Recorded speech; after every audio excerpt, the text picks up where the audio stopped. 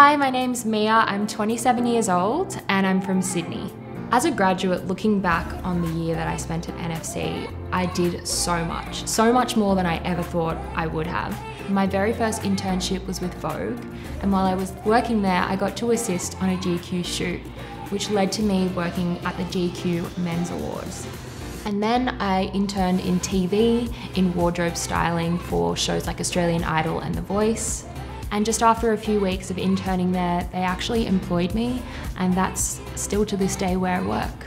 And I love it. One of the things that really surprised me about NFC are the friendships. From day one orientation day, I made some incredible friends who are still my friends today, and everyone just has a shared love and passion for fashion. From day one, I came out with like a best friend out of college, and I've got so many friends from class. You go to work experience together, you're at runway shows together.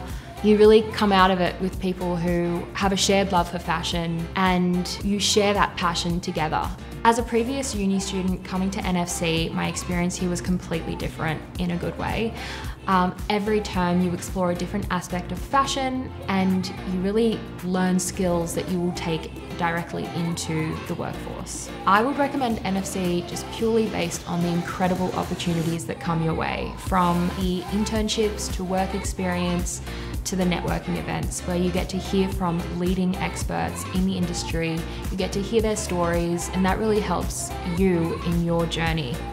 I can't believe a year ago I was interning as a TV stylist and now I'm working as a TV stylist.